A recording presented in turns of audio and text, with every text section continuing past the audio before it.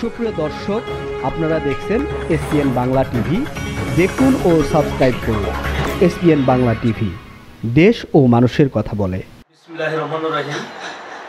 আজ বঙ্গবন্ধু গবেষণা পরিষদ কেন্দ্রীয় কার্যালয়ে আমাদের বঙ্গবন্ধু গবেষণা পরিষদের সুযোগ্য সভাপতি, আমার পরম শ্রদ্ধেয় নেতা, শ্রদ্ধেয় লায়ন মোহাম্মদ গনিমিয়া বাবুল স্যারের কার্যালয়ে এসেছি। আজকে অত্যন্ত আনন্দের সহিত গাজীপুর জেলা বঙ্গবন্ধু গবেষণা পরিষদের পক্ষ থেকে আমি আমার পরম শ্রদ্ধাবাদ নেতাকে শুভেচ্ছা এবং অভিনন্দন জানাচ্ছি। তিনি বাংলাদেশ জাতীয় সাংবাদিক সংস্থার প্রধান উপদেষ্টা নির্বাচিত হয়েছে।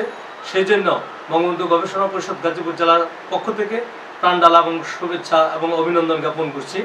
আমরা গাজীপুর জেলা শাখার কয়েকজন আজকে ফুল দিয়ে শুভেচ্ছা বিনিময় করার জন্য আজকের সম্মানিত প্রধান উপদেষ্টা মহোদয়ের সাথে সৌজন্য সাক্ষাৎ করতে এসেছি। মহান আল্লাহ পাকের দরবারে দোয়া করি।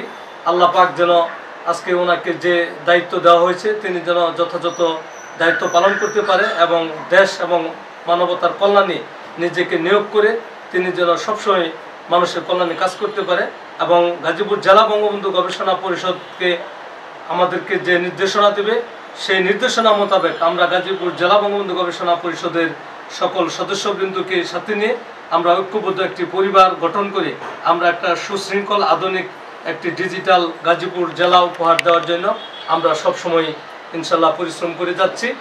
আর পরিশেষে আবারও গাজীপুর জেলা বঙ্গবন্ধু গবেষণা পরিষদের পক্ষ থেকে আজকে প্রধান উপদেষ্টা নির্বাচিত হওয়ার জন্য লায়ন মোহাম্মদ গনিমিয়া বাবুল স্যারকে প্রাণডালা এবং শুভেচ্ছা এবং অভিনন্দন জ্ঞাপন করে আমি আমার সংক্ষিপ্ত বক্তব্য এখানে শেষ করছি।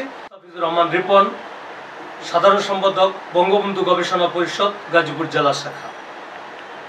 আল্লাহ হাফেজ, জয় বাংলা, জয় বঙ্গবন্ধু, জয় হোক দেশবাসীর সকলকে ধন্যবাদ, আসসালামু আলাইকুম। এখন আমাদের সামনে গুরুত্বপূর্ণ বক্তব্য রাখবেন বঙ্গবন্ধু গবেষণা পরিষদ কেন্দ্রীয় কমিটির সম্মানিত সভাপতি এবং জাতীয় সাংবাদিক সংস্থার নবনির্বাচিত প্রধান উপদেষ্টা, আমাদের সকলের পরম শ্রদ্ধেয় জনাব লায়ন মোহাম্মদ গনি মিয়া।